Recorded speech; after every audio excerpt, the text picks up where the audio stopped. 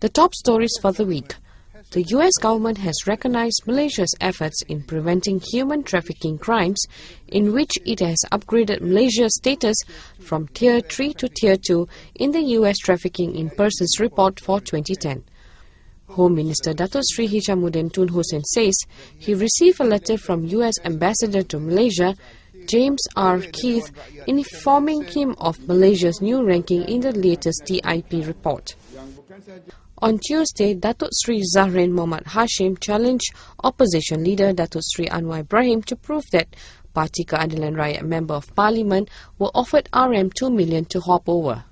Anwar says he will expose middlemen involved in delivering millions of ringgit to those who hopped over at the right time.